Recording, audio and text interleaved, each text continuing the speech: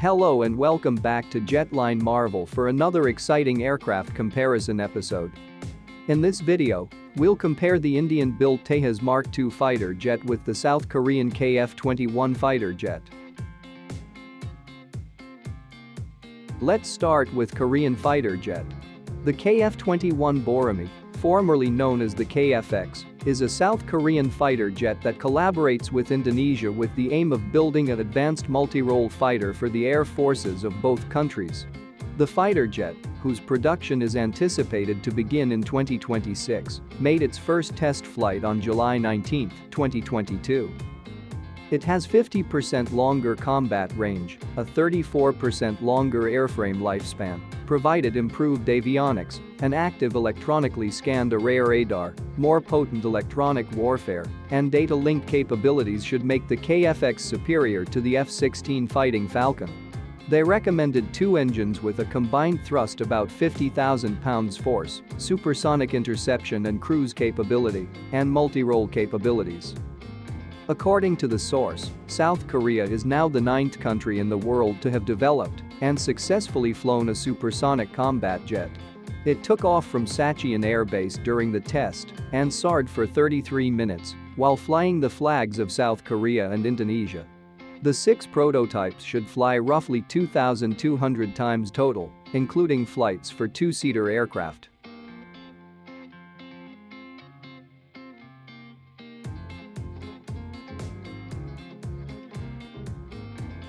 The Tejas Mark II, also known as the medium-weight fighter, it is a single-engine, canard delta wing, multi-role combat aircraft developed by Hindustan Aeronautics Limited's Aircraft Research and Design Center for the Indian Air Force. It is anticipated to fly for the first time in 2023, and production was set to start by 2026. Along with other avionics upgrades, it will include an indigenous integrated life support system an aircraft health and usage monitoring system to coordinate various sensors on board.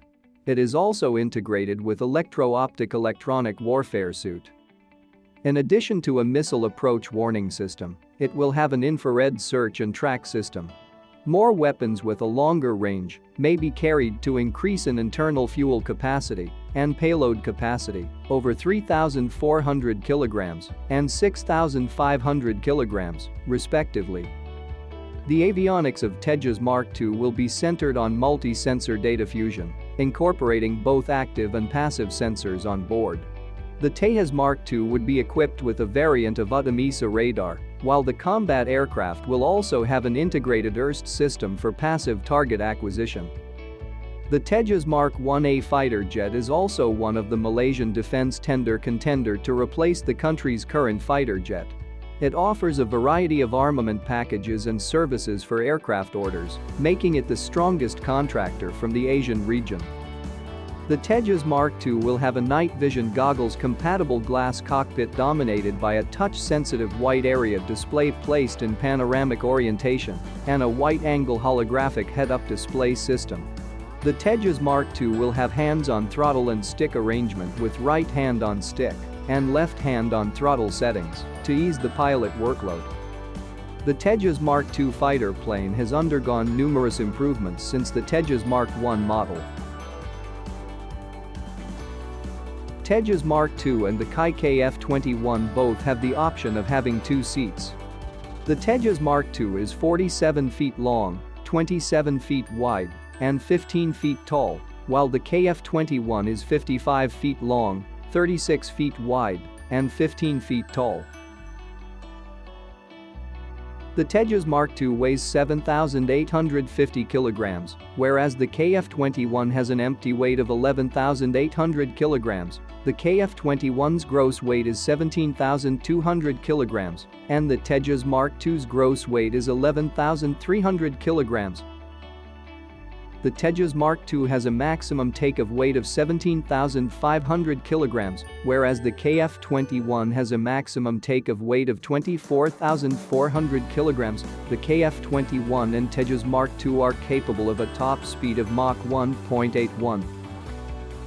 The Tejas Mark II has an about 3,500 kilometer ferry range, while the KF-21 has a 2,900 kilometer range. With an afterburner, KF-21s has two General Electric F414 afterburning turbofan engines may produce up to 97.2 kilonewtons. Tejas Mark II is equipped with a single General Electric F414 afterburning turbofan that has a FADEC 98 kN thrust rating and a 110 kN afterburner. KF-21 has 10 hard points.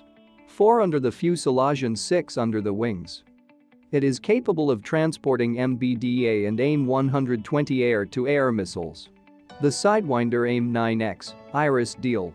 Additionally, it is capable of transporting the Harpoon, AIM-65, and Taurus air-to-ground missiles.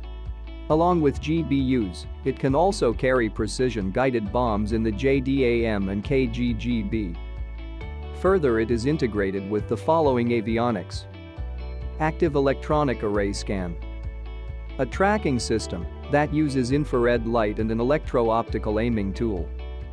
Additionally, it has data link capabilities. Mission computer jammer, radio frequency jammer, flight control computer, multifunction display, and stores management computer.